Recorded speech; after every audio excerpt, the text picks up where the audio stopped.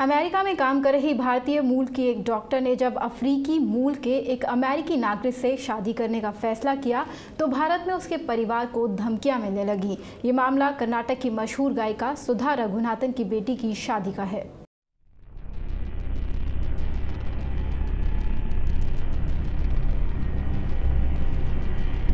कर्नाटक की मशहूर गायिका सुधा रघुनाथन की बेटी की शादी को लेकर एक बवाल शुरू हो गया है। सुधा रघुनाथन की बेटी मालविका अमेरिका में बतौर डॉक्टर काम करती हैं, जहाँ उनकी मुलाकात माइकल मॉर्फी नाम के शख्स से हुई।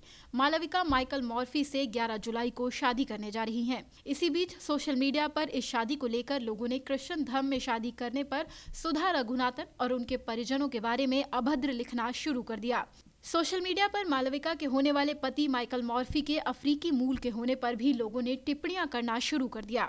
सोशल मीडिया पर इस शादी को लेकर विवाद का सिलसिला इतना आगे बढ़ा कि लोगों ने गायिका सुधा रघुनाथन के धर्म पर भी सवाल खड़े कर दिए। कई लोगों ने लिखा कि सुधा रघुनाथन और उनके परिवार ने भी कृष्ण धर्म को अपना लिया है तो कई लोगों ने पोस्ट कर गायिका सुधा रघुनाथन का ब्राह्मण स्वभाव से भी बॉयकॉट करने की अपील की। सुधा रघुनाथन के परिजनों पर हो रहे कमेंट्स पर कॉलीवुड गायिका चिन्मयी श्रीपदा ने एक ट्वीट में लिखा, इस तरह से किसी के निजी मामलों में उन्हें परेशान करना आरएसएस की सोच को दर्शाता है.